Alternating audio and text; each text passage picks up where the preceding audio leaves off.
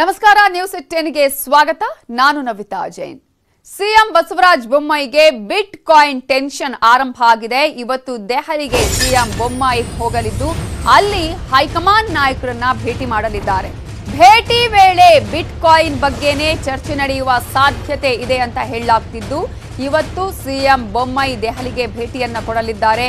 ಈ ಒಂದು ಭೇಟಿ ವೇಳೆ ಬಿಟ್ ಕಾಯಿನ್ ಬಗ್ಗೆ ಚರ್ಚೆ ನಡೆಯುತ್ತಾ? ಬಿಟ್ ಕಾಯಿನ್ ಸದ್ದಿನಿಂದ ಈಗಾಗಲೇ ಸರ್ಕಾರಕ್ಕೆ ಸಾಕಷ್ಟು ಮುಜುಗರ ಉಂಟಾಗಿದೆ. ಸಿಎಂ ಹಾಗೂ ಕೆಲ ನಾಯಕರಿಗೆ ಮುಜುಗರ ಉಂಟಾಗಿದೆ. ಇದೇ ಕಾರಣಕ್ಕೆ ಹೈಕಮಾಂಡ್ ಜೊತೆ ಚರ್ಚೆಯನ್ನ ಮಾಡ್ತಾರಾ ಬಿಟ್ ಕಾಯಿನ್ ಬಗ್ಗೆ ರಾಜ್ಯದಲ್ಲಿ ಬಹಳ ಚರ್ಚೆ ಆಗ್ತಾ ಇದೆ, ಸುದ್ದಿ ಮಾಡ್ತಾ ಇದೆ, ಸದ್ದು ಮಾಡ್ತಾ ಇದೆ, ಆರೋಪಗಳು ಕೇಳಿ ಬರ್ತಾ ಇದೆ. ಪ್ರತಿಪಕ್ಷದವರು ಇದೇ ವಿಚಾರಕ್ಕೆ ಸಂಬಂಧಪಟ್ಟ ಹಾಗೆ ಒಂದಷ್ಟು ಬಿಜೆಪಿಯಲ್ಲಿರುವಂತಹ ಪ್ರಭಾವಿ ನಾಯಕರ ಮಕ್ಕಳಿದ್ದಾರೆ ಅನ್ನುವಂತಹ ವಿಚಾರವನ್ನ ಹೇಳ್ತಿದ್ದಾರೆ.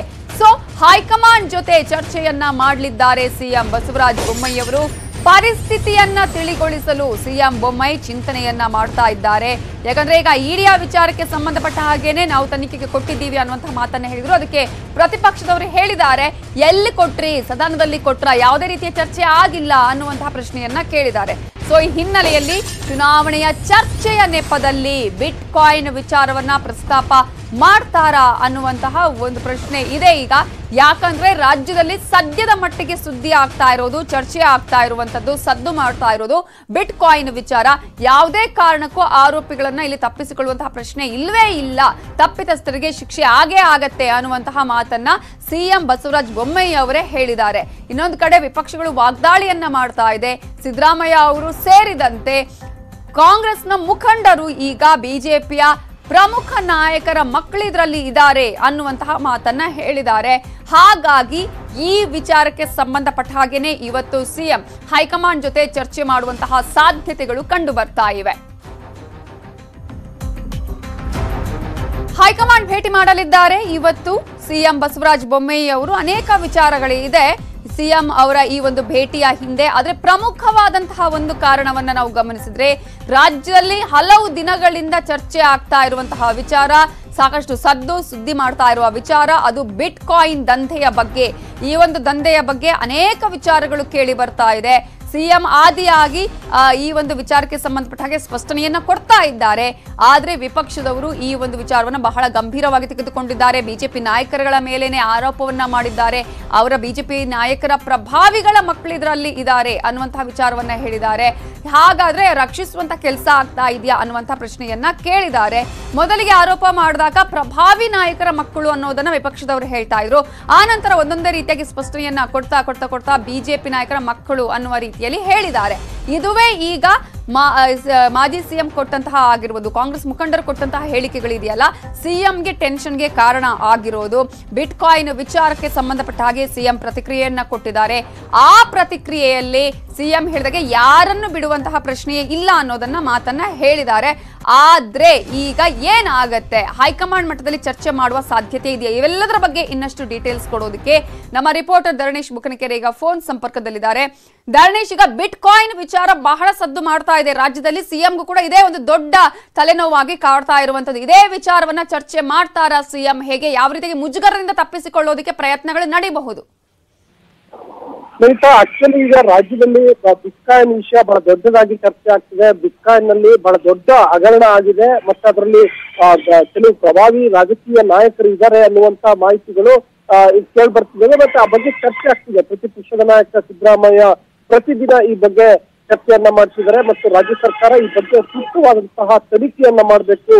ಮತ್ತೆ ಇಲ್ಲಿ ಸಿಒಡಿ ಅಥವಾ ಮತ್ತಿತರ ತನಿಖಾ ಸಂಸ್ಥೆಯಿಂದ ಇದರ ತನಿಖೆ ನಡೆಸುವ ಬದಲು ಇಡಿಗೆ ಮತ್ತು ಸಿಬಿಐಗೆ ವಹಿಸಬೇಕು ಅನ್ನುವ ವಾದವನ್ನ ಅವರು ಮಂಡಿಸಿದ್ದಾರೆ. ಮತ್ತೆ ಆ ದರ್ಶ ಸಿದ್ದರಾಮಯ್ಯ ಅಷ್ಟೇ ಅಲ್ಲದೆ ಬೇರೆಯವರು ಕೂಡ ಅದ್ರ ಬಗ್ಗೆ ಚರ್ಚೆಯನ್ನ ಮಾಡ್ತಿದ್ದಾರೆ. ಮತ್ತು ಬಿಜೆಪಿ ನಾಯಕರು, ಅಂದ್ರೆ ಯಾರಿಗೆ ಬಸವರಾಜ ಬೈಮಾಯಿಗೆ ಬಗ್ಗೆ ಅಸಮಾಧಾನ ಇದೆ ಅಥವಾ ಕೆಲವರಿಗೆ ಬೇರೆ ಬೇರೆ ಏನೇನೋ ಉದ್ದೇಶಗಳು ಇರ್ತವೆ. ಸೊ ಅಂತವರು ಕೂಡ ಸಮರ್ಥಿಸಿಕೊಳ್ಳುವ ನೆಪದಲ್ಲಿ ಈ ಬಿಟ್ಕಾಯಿನ್ ಹಗರಣವನ್ನ ಸಮರ್ಥಿಸಿಕೊಳ್ಳುವ ನೆಪದಲ್ಲಿ ಅವರು ಪದೇ ಪದೇ ಈ ವಿಷಯವನ್ನ ಚರ್ಚೆ ಮಾಡ್ತಿದ್ರು.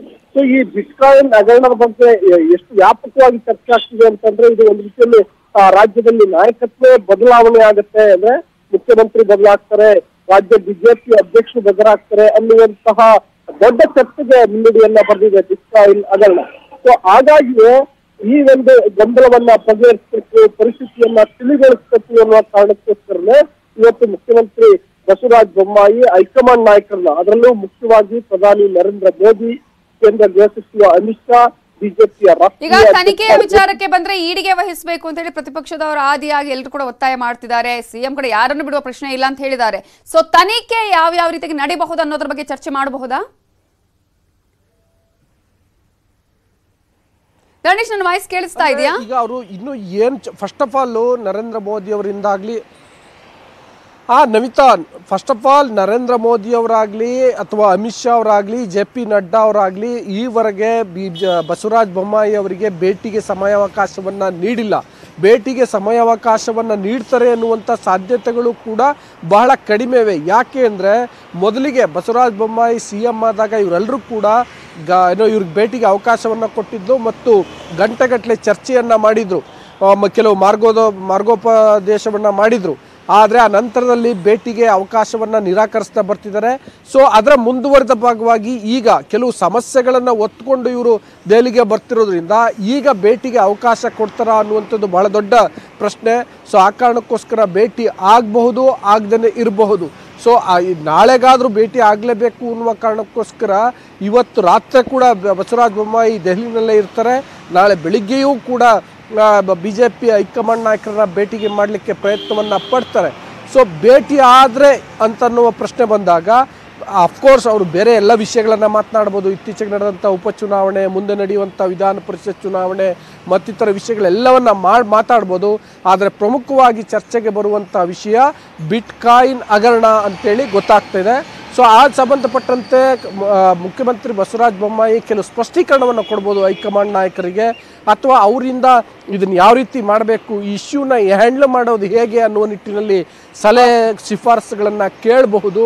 ಜೊತೆಗೆ ಈಗ ನಾನು ಆಗಲೇ ಹೇಳಿದ್ನಲ್ಲ, ಈ ಬಿಟ್ಕಾಯಿನ್ ಹಗರಣದಲ್ಲಿ ಪ್ರಭಾವಿ ರಾಜಕಾರಣಿಗಳು ಮತ್ತು ಅವರ ಮಕ್ಕಳು ಇದ್ದಾರೆ ಅನ್ನುವಂಥ ಮಾಹಿತಿಗಳು ವ್ಯಾಪಕವಾಗಿ ಚರ್ಚೆ ಆಗ್ತಿದೆ. ಸೊ ಹಾಗಾಗಿ ಇದು ಭಾಳ ಸೂಕ್ಷ್ಮವಾದಂಥ ವಿಷಯ.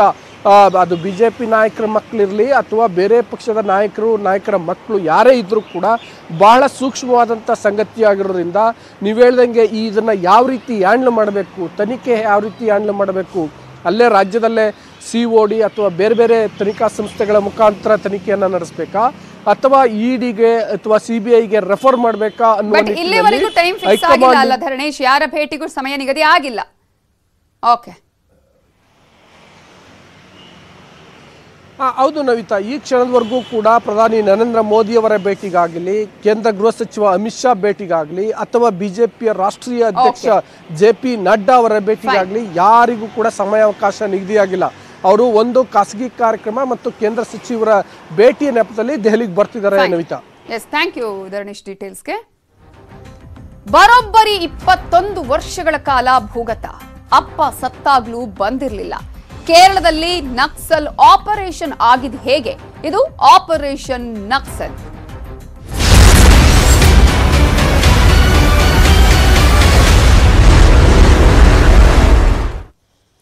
ಇಬ್ಬರು ಮೋಸ್ಟ್ ವಾಂಟೆಡ್ ನಕ್ಸಲರನ್ನ ಕೇರಳದ ವೈನಾಡು ಬಳಿಯ ಸುಲ್ತಾನ್ ಬತ್ತೇರಿಯಲ್ಲಿ ಅರೆಸ್ಟ್ ಮಾಡಲಾಗಿದೆ.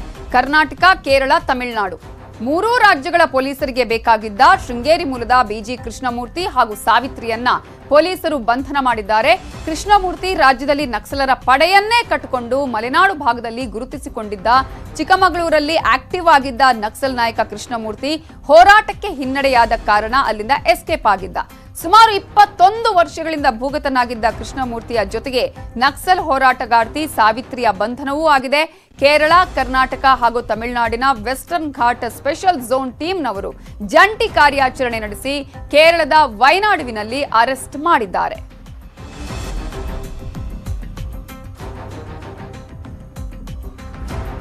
uh, suggest the rehabilitation or not. Means, so if it is falls within the policy, so it is uh, suggested for rehabilitation package and then rehabilitation committee under.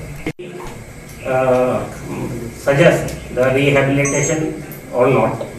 Means, so if it is falls within the policy, so it is uh, suggested for rehabilitation package and then rehabilitation committee under. Uh, suggest the rehabilitation or not. So if it is falls within the policy, most wanted ನಕ್ಸಲರು ಇಬ್ಬರನ್ನ ಈಗ ಕೇರಳದ ವೈನಾಡಿನ ಸುಲ್ತಾನ್ ಬತ್ತೇರಿಯಲ್ಲಿ ಪೊಲೀಸರು arrest ಮಾಡಿದ್ದಾರೆ ಯಾರ್ಯಾರು ಈ ಇಬ್ಬರು ಯಾಕೆ ಬಹಳ ಇಂಪಾರ್ಟೆಂಟ್ ಆಗತ್ತೆ ಅವರ ಅರೆಸ್ಟ್ ಅಂತ ನೋಡೋದಾದ್ರೆ ಬಿಜಿ ಕೃಷ್ಣಮೂರ್ತಿ ಇಪ್ಪತ್ತೊಂದು ವರ್ಷಗಳಿಂದಲೂ ಕೂಡ ಭೂಗತನಾಗಿದ್ದ, ಅನೇಕ ನಕ್ಸಲ್ ಹೋರಾಟದಲ್ಲಿ ಈತ ಪಾಲ್ಗೊಂಡಿದ್ದ, ಈತನ ವಿರುದ್ಧ ಐವತ್ತ ಮೂರು ಕೇಸ್ಗಳಿದೆ ಬೇರೆ ಬೇರೆ ಠಾಣೆಯಲ್ಲಿ. ಇನ್ನು ಸಾವಿತ್ರಿಯ ಹಿನ್ನೆಲೆ ನೋಡೋದಾದ್ರೆ, ಈಕೆ ಕೂಡ ನಕ್ಸಲ್ ಹೋರಾಟದ ಮುಂಚೂಣಿಯ ಲೀಡರ್ ಆಗಿದ್ದಂಥವಳು. ಆಲ್ಮೋಸ್ಟ್ ಇಪ್ಪತ್ತ ಎರಡು ಕೇಸ್ಗಳು ಈಕೆಯ ವಿರುದ್ಧವೂ ಇದೆ. ಈಗ ಸಾವಿತ್ರಿಗೆ ಮೂವತ್ತ ಆರು ವರ್ಷ, ಆಲ್ಮೋಸ್ಟ್ ಈಗ ಸಾವಿತ್ರಿ ಮೇಲೆ ಇಪ್ಪತ್ತ ಎರಡು ಕೇಸ್ಗಳು ದಾಖಲಾಗಿದೆ. ಈತ್ಕೆ ಮತ್ತು ಕೃಷ್ಣಮೂರ್ತಿಯನ್ನ ಈಗಾಗಲೇ ಪೊಲೀಸರು ಅರೆಸ್ಟ್ ಮಾಡಿದ್ದಾರೆ. ತಲ್ಲೂರು ಅಂಗಡಿ ಬಸ್ ಸುಟ್ಟ ಕೇಸ್ ಕೃಷ್ಣಮೂರ್ತಿಯ ಮೇಲೆ ಇದೆ. ಅದರ ಜೊತೆಗೆ ಕೇಸಮುಡಿ ವೆಂಕಟೇಶ್ ಕೇಸ್ ಶೇಷಪ್ಪ ಗೌಡ್ಲು ಹತ್ಯೆಯ ಕೇಸ್ ಆಗಿರಬಹುದು, ಫಾರೆಸ್ಟ್ ಚೆಕ್ ಪೋಸ್ಟ್ ಸ್ಫೋಟದ ಕೇಸ್ ಆಗಿರಬಹುದು, ಇವೆಲ್ಲವೂ ಕೂಡ ಕೃಷ್ಣಮೂರ್ತಿಯ ಮೇಲೆ ಇರುವಂತಹ ಕೇಸ್ಗಳ ಆಗಿದೆ. ಹಾಗಾಗಿ ಈತ ಬಹಳ ಇಂಪಾರ್ಟೆಂಟ್ ಆಗತ್ತೆ ಪೊಲೀಸರ ಈ ಒಂದು ಬಂಧನದ ಪ್ರಕ್ರಿಯೆಯಲ್ಲಿ. ಈತ ಕರ್ನಾಟಕಕ್ಕೂ ತಮಿಳುನಾಡಿಗೂ ಕೇರಳಕ್ಕೂ ಬೇಕಾಗಿದ್ದವನಾಗಿದ್ದಾನೆ. ಬೆಂಗಳೂರು ಕಡ್ಲೆಕಾಯಿ ಪರಿಷೆಗೆ ಬಿಬಿಎಂಪಿ ಅನುಮತಿಯನ್ನ ಕೊಟ್ಟಿದೆ. ಸಾಂಪ್ರದಾಯಿಕವಾಗಿ ಕಡ್ಲೆಕಾಯಿ ಪರಿಷೆ ನಡೆಸೋದಿಕ್ಕೆ ಬಿಬಿಎಂಪಿ ಈಗ ಗ್ರೀನ್ ಸಿಗ್ನಲ್ ನೀಡಿದೆ. ಕಾರ್ತಿಕ ಮಾಸದ ಕೊನೆಯ ಸೋಮವಾರ ಕಡ್ಲೆಕಾಯಿ ಪರೀಕ್ಷೆ ನಡೆಯುತ್ತೆ. ಈ ಜಾತ್ರೆ ಬಹಳ ಒಂದು ಪ್ರಾಮುಖ್ಯತೆಯನ್ನ ಪಡೆದಿದೆ. ಐತಿಹಾಸಿಕ, ಪೌರಾಣಿಕ ಹಿನ್ನೆಲೆಯನ್ನು ಹೊಂದಿರುವ ಜಾತ್ರೆ. ಆದರೆ ಕಳೆದ ಎರಡು ವರ್ಷಗಳಿಂದ ಕೊರೋನಾ ಇದ್ದ ಹಿನ್ನೆಲೆಯಲ್ಲಿ ಯಾವುದೇ ರೀತಿಯ ಜಾತ್ರೆ ನಡೆಯೋದಕ್ಕೂ ಅವಕಾಶ ಕೊಟ್ಟಿರಲಿಲ್ಲ. ಈ ಬಾರಿ ಕೂಡ ಸಾಂಪ್ರದಾಯಿಕವಾಗಿ ಕಡಲೆಕಾಯಿ ಪರೀಕ್ಷೆ ನಡೆಸೋದಕ್ಕೆ ಬಿಬಿಎಂಪಿ ಅನುಮತಿಯನ್ನ ಕೊಟ್ಟಿದೆ. ಬಸವನಗುಡಿಯ ದೊಡ್ಡ ಗಣೇಶ ದೇವಸ್ಥಾನದಲ್ಲಿ ಜಾತ್ರೆ ನಡೆಯಲಿದ್ದು, ಕೊರೋನಾ ನಿಯಮಾವಳಿಯನ್ನ ಗಮನದಲ್ಲಿ ಇಟ್ಟುಕೊಂಡು ಜಾತ್ರೆಯನ್ನ ಮಾಡಬೇಕು ಅಂತ ಹೇಳಿ ಬಿಬಿಎಂಪಿ ಅಧಿಕೃತ ಆದೇಶವನ್ನ ಪ್ರಕಟ ಮಾಡಿದೆ. ಕಳೆದ ಎರಡು ವರ್ಷಗಳಿಂದ ಯಾವುದೇ ರೀತಿಯಾದಂತಹ ಕಡಲೆಕಾಯಿ ಪರೀಕ್ಷೆಗೆ ಅನುಮತಿ ಇರಲಿಲ್ಲ. ಅಂದ್ರೆ ಕೇವಲ ಸಂಪ್ರದಾಯವಾಗಿ ಪೂಜೆ ಪುನಸ್ಕಾರಗಳನ್ನ ಮಾಡಿಕೊಂಡು ಮಾತ್ರ ಕಡಲೆಕಾಯಿ ಪರೀಕ್ಷೆ ನಡೀತಾ ಇತ್ತು. ಇಲ್ಲದಿದ್ರೆ ಅನೇಕ ವರ್ಷಗಳ ಇತಿಹಾಸವನ್ನ ಹೊಂದಿರುವಂತಹ ಬಸವನಗುಡಿ ದೊಡ್ಡ ಗಣಪತಿ ದೇವಸ್ಥಾನದ ಒಂದು ಕಡಲೆಕಾಯಿ ಪರೀಕ್ಷೆ ದೊಡ್ಡ ಇತಿಹಾಸವನ್ನೇ ಹೊಂದಿದೆ. ಸಾಕಷ್ಟು ಕಡೆಯಿಂದ ಬೇರೆ ಬೇರೆ ಭಾಗದ ಜನ ಕಡಲೆಕಾಯಿ ಪರಿಷೆಗೆ ಬರ್ತಾರೆ. ಹಾಗೇನೆ ಕಡಲೆಕಾಯಿ ಪರಿಷೆ ಅಂದ್ರೇನೆ ಕಡಲೆಕಾಯಿಯ ಬೆಳೆಗಾರರಿಗೆ ಒಂದು ರೀತಿಯ ದೊಡ್ಡ ಹಬ್ಬ. ಈ ಸಂದರ್ಭದಲ್ಲಿ ಎಲ್ಲರಿಗೂ ಕೂಡ ಅತ್ಯಂತ ಒಂದು ಚೈತನ್ಯವನ್ನು ಕೊಡುವಂತಹ ಹಬ್ಬ ಆಗಿದೆ. ಆದರೆ ಕಳೆದ ಎರಡು ವರ್ಷಗಳಿಂದ ಯಾವುದೇ ರೀತಿಯಾದಂತಹ ಜಾತ್ರೆ ನಡೆಸೋದಕ್ಕೆ ಅವಕಾಶ ಸಿಕ್ಕಿರಲಿಲ್ಲ. ಈ ಸಲ ಕೊರೋನಾ ನಿಯಮಾವಳಿಗಳನ್ನ ಅನುಸರಿಸಿಕೊಂಡು ಸಾಂಪ್ರದಾಯಿಕವಾಗಿ ಈ ಒಂದು ಕಡಲೆಕಾಯಿ ಪರಿಷೆಗೆ ಅನುಮತಿಯನ್ನ ನೀಡಲಾಗಿದೆ.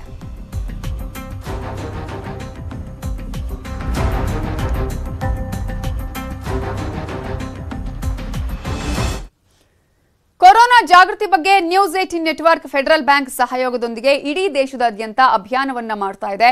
ಇದರ ಮುಂದುವರಿದ ಭಾಗವಾಗಿ ವಾಟ್ಸ್ಆಪ್ ಮೂಲಕ ನೀವು ನಿಮಗೆ ಇರುವಂತಹ ಗೊಂದಲಗಳಿಗೆ, ಸಂಶಯಗಳಿಗೆ ಪ್ರಶ್ನೆಯನ್ನ ಕೇಳಬಹುದು. ಆ ಪ್ರಶ್ನೆಗಳಿಗೆ ಅದೇ ನಂಬರಿಂದ ಉತ್ತರ ಸಿಗುತ್ತೆ. ನಮ್ಮ WhatsApp number seven nine double seven double seven three seven five three ನಂಬರ್ಗೆ ಪ್ರಶ್ನೆಗಳನ್ನ ಕಳುಹಿಸಿ ಅದರಿಂದ ಉತ್ತರವನ್ನ ಪಡ್ಕೊಳ್ಳಿ. ಜೊತೆಗೆ ಇನ್ನೂ ಹೆಚ್ಚಿನ ಮಾಹಿತಿ ಬೇಕು ಅನ್ನೋದಾದ್ರೆ ನಮ್ಮ ಸ್ಕ್ರೀನ್ ಮೇಲೆ ಕಾಣಿಸ್ತಾ ಇರುವಂತಹ ವೆಬ್ಸೈಟ್ಗೆ ಲಾಗಿನ್ ಮಾಡಿದ್ರೆ ನಿಮಗೆ ಎಲ್ಲ ಮಾಹಿತಿ ಕ್ಷಣಾರ್ಧದಲ್ಲಿ ಸಿಗುತ್ತೆ. ಉಡುಪಿಯ ಮಹೇಶ್ ಅನ್ನುವ ಅಪ್ಪು ಅಭಿಮಾನಿ ರೂಬಿಕ್ ಕ್ಯೂಬ್ ಜೋಡಿಸಿ ಅಪ್ಪು ಕಲಾಕೃತಿ ರಚಿಸಿದ್ದಾರೆ. ಏಳ್ನೂರ ನಾಲ್ಕು ರೂಬಿಕ್ಸ್ ಕ್ಯೂಬ್ ಜೋಡಿಸಿ ಅಪ್ಪು ಭಾವಚಿತ್ರ ರಚನೆ ಮಾಡೋದಕ್ಕೆ ಬರೋಬ್ಬರಿ ನಾಲ್ಕು ದಿನ ಶ್ರಮಿಸಿದ್ದಾರೆ. ರೂಬಿಕ್ಸ್ ಕ್ಯೂಬ್ ಬಳಸಿ ಅಪ್ಪು ಅಚ್ಚುಮೆಚ್ಚಿನ ಮಲ್ಪೆ ಬೀಚಲ್ಲಿ ಕಲಾಕೃತಿ ನಿರ್ಮಾಣ ಮಾಡಿದ್ದಾರೆ. ಮಲ್ಪೆ ಬೀಚ್ಗೆ ಅಪ್ಪು ಬಂದು ಹೋಗಿದ್ದನ್ನು ನೆನಪಿಸಿಕೊಂಡು ಮಹೇಶ್ ಭಾವುಕರಾಗಿದ್ದಾರೆ. ಒಂದು ಮುತ್ತಿನ ಕತೆ ಸಿನಿಮಾ ಚಿತ್ರೀಕರಣ ನಡೆದಿದ್ದ ಜಾಗದಲ್ಲೇ ರೂಬಿಕ್ಸ್ನಲ್ಲಿ ಅರಳಿದ ಅಪ್ಪು ಕಲಾಕೃತಿ ಸಾಮಾಜಿಕ ಜಾಲತಾಣಗಳಲ್ಲಿ ವೈರಲ್ ಆಗಿದೆ ಆ, ಇವತ್ತು ಮಾಡಿದ್ದು ಈ ಆರ್ಟ್ ವರ್ಕ್ ನಾನು ಪುನೀತ್ ರಾಜ್ಕುಮಾರ್ ಅವರದ್ದು ಏಳ್ನೂರ ನಾಲ್ಕು ರೂಬಿಕ್ಸ್ ಕ್ಯೂಬನ್ನು ಯೂಸ್ ಮಾಡಿ ಮಾಡಿದಂಥ ಆರ್ಟ್ ವರ್ಕ್ ಸುಮಾರು ಮೂರು ನಾಲ್ಕು ದಿನದ ಎಫರ್ಟ್ ಇದೆ ಈ ಆರ್ಟ್ ವರ್ಕಿಂದ ಇದನ್ನು ಮಲ್ಪೆ ಬೀಚಲ್ಲೇ ನಾನು ಯಾಕೆ ಮಾಡಿದೆ ಅಂದರೆ ಪುನೀತ್ ರಾಜ್ಕುಮಾರ್ ಅವ್ರದ್ದೊಂದು ವೀಡಿಯೋ ವೈರಲ್ ಆಗಿತ್ತು. ಅವ್ರು ಮಲ್ಪೆ ಬೀಚಲ್ಲಿ ವಾಕ್ ಮಾಡ್ತಾ ಹೇಳ್ತಿದ್ರು. ಮಲ್ಪೆ ಬೀಚ್ ಅವ್ರದ್ದು one of the favourite place ಹಾಗೆ ಸೈಂಟ್ ಮೇರಿ ಸೈಲ್ಯಾಂಡ್ ಬಗ್ಗೆ ಕೂಡ ಹೇಳಿದರು. ಅವರ ತಂದೆ ಜೊತೆಗೆ ಅಲ್ಲಿ ಒಂದು ಮುತ್ತಿನ ಕತೆ ಶೂಟ್ ಆಗಬೇಕಾದ್ರೆ ಒಂದು ತಿಂಗಳು ತನ್ನ ತಂದೆ ಜೊತೆಗಿದ್ರು ಅಂತ. ಹಾಗಾಗಿ ಅದೇನೋ ಪುನೀತ್ ರಾಜ್ಕುಮಾರ್ ಮತ್ತು ಮಲ್ಪೆಗಿರುವ ಒಂದು ನಂಟ ಅಂತಲೇ ಹೇಳ್ಬೋದು. ಹಾಗಾಗಿ ಆ ಪ್ಲೇಸನ್ನು ಚೂಸ್ ಮಾಡಿ ಇವತ್ತು ಅಲ್ಲಿ ಒಂದು ಆರ್ಟ್ ವರ್ಕ್ ಮಾಡಿ ಅವ್ರಿಗೆ ಟ್ರಿಬ್ಯೂಟ್ ಕೊಟ್ಟೆ ಪುನೀತ್ ರಾಜ್ಕುಮಾರ್ ಅವರು ನಮ್ಮ ರಾಜ್ಯ ಕಂಡಂಥ ಹಾಗೆ ದೇಶ ಕಂಡಂಥ ಒಬ್ಬ ಅದ್ಭುತ ನಟ. ಅದರ ಜೊತೆಗೆ ಅವರು ಸಮಾಜದ ಬಗ್ಗೆ ಇದ್ದವರ ಕಾಳಜಿ, ಸಮಾಜಕ್ಕಾಗಿ ಏನೆಲ್ಲ ಸಹಾಯ ಮಾಡ್ತಿದ್ರು ಬಡವರಿಗೆಲ್ಲ ಹೇಗೆ ಸಹಾಯ ಮಾಡ್ತಿದ್ರು ಅನ್ನೋದು ಅವರ ಈ ಕಾಲ ನಂತರ ನಮಗೆ ಸುಮಾರು ಜನರಿಗೆ ತಿಳಿತು ಅವರು ಏನೆಲ್ಲ ಮಾಡಿದರು. ಅದನ್ನು ಯಾರಿಗೂ ತೋರಿಸ್ತಾ ಇರಲಿಲ್ಲ. ಹಾಗಾಗಿ ಅವರ ಮೇಲೆ ಇದ್ದ ಅಭಿಮಾನ ಇನ್ನಷ್ಟು ಹೆಚ್ಚಾಯಿತು. ಸುಮಾರು ಸಮಯದಿಂದ ಅವರಿಗೆ ಟ್ರಿಬ್ಯೂಟ್ ಕೊಡಬೇಕಂತ ಇತ್ತು.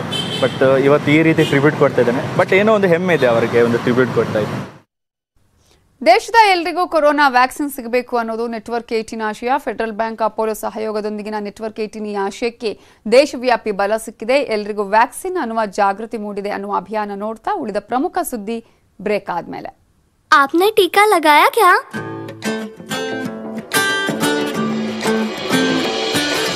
टीका लगा वो जरा टीका लगा जब अपनी ही बारी आए टीका लगा टीका लगा जरा टीका लगा। जब अपनी बारी आए टीका लगा। टीका लगा जरा टीका लगा। जरा टीका टीका टीका टीका। लगाया क्या? लगवा ले लगवा ले जुबन तेरा सहले सहले। तू सबसे ये कह ले कह ले है जनहित में जारी मिलती का डरना ओ निडर टीका लगा जरा टीका लगा। जब अपनी बारी आए टीका लगा। लगाया क्या टीका लगा ओ जरा टीका लगा जब अपनी बारी आए ಎಲ್ಲಿಂದಲೋ ಬಂದ ಇವರಿಗೆ ಎಲ್ಲದಕ್ಕೂ ನಮ್ಮ ಕರುನಾಡು ಬೇಕು ಸ್ಥಳೀಯರಿಗೆ ಕೆಲಸ ಕೊಡೋದಕ್ಕೆ ಮಾತ್ರ ಬೇಡ ಅಂತೆ ಕನ್ನಡ ನಾಡಿನ ನೆಲ ಜಲ ಸೇರಿ ಎಲ್ಲದಕ್ಕೂ ರಿಯಾಯಿತಿ ಪಡೆದ ಐಟಿ ಕಂಪನಿಗಳು ಕನ್ನಡಿಗರಿಗೆ ಉದ್ಯೋಗ ನೀಡೋದಕ್ಕೆ ಮಾತ್ರ ಮೀನಾಮೇಷ ಎಣಿಸ್ತಾ ಇವೆ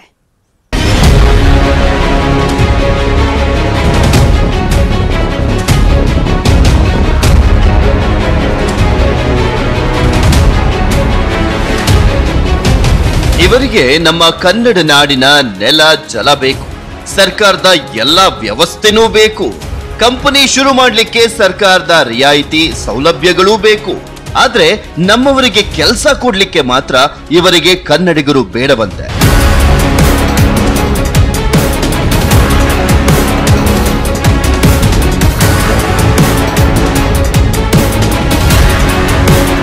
ಪ್ರತಿಭಾವಂತ ಕನ್ನಡಿಗರಿದ್ರು ತಂತ್ರಜ್ಞಾನ, ಬಹುರಾಷ್ಟ್ರೀಯ ಕಂಪನಿಗಳಲ್ಲಿ ನೆರೆಯ ಭಾಷಿಕರಿಗೆ ಮಣೆಯನ್ನು ಹಾಕ್ತಾರೆ.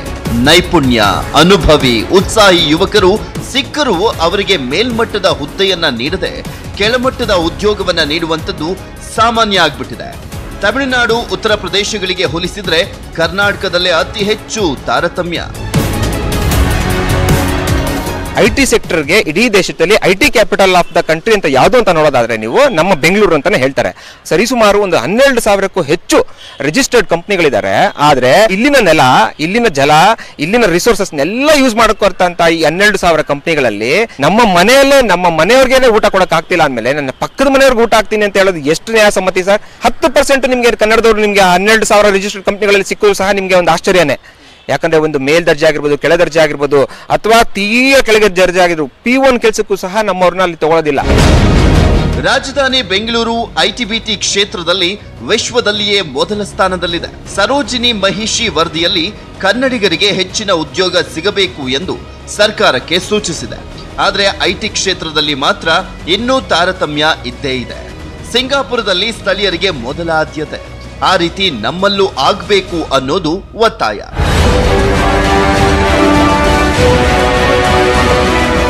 ಶರಣು ಹಂಪಿ ನ್ಯೂಸ್ ಏಟೀನ್ ಕನ್ನಡ ಬೆಂಗಳೂರು